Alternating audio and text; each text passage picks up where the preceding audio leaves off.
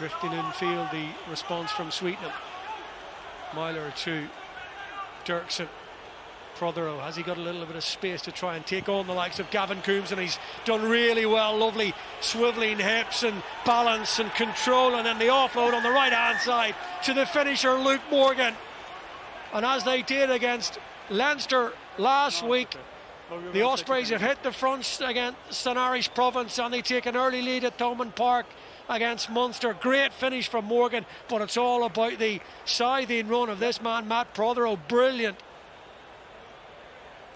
Absolutely wonderful to watch. If All from Stephen Myler's catching the ball with such comfort here on the left hand touchline, and immediately the ball shifted out and opened to space. And you can see Protheroe running as he does cut through the Munster defence. Beautiful two on one, simple passing, using the full width of the pitch, and attacking where Munster were at their weakest. Brilliant, brilliant try. Just such a pity the crowd isn't here to, to enjoy it.